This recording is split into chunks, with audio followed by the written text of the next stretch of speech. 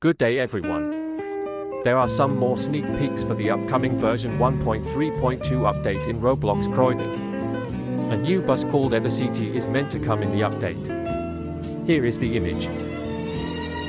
I'm just letting you know that Route 91 won't be coming.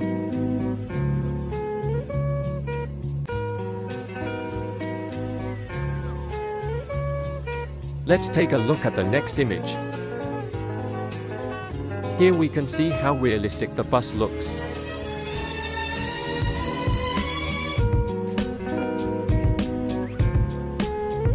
That's all for now.